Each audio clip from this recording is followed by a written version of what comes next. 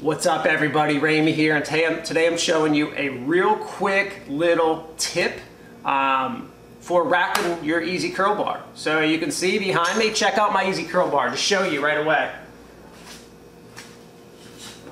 All right, so what I've done here is on my squat rack, I've simply turned my J-cups to the side and I'm using the sides to store my EZ Curl Bar.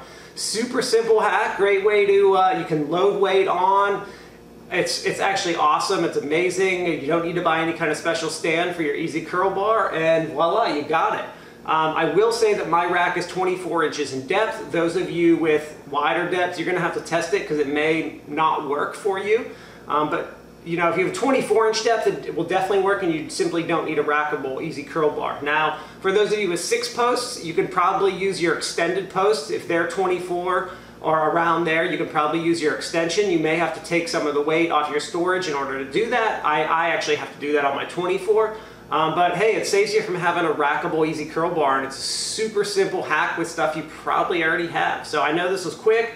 Um, those of you without square tubing, you know, this is three by three, you're not going to be able to do that. You can't turn your, your J-cups to the side, but super simple little hack for a uh, squat rack and EZ curl. All right, later y'all.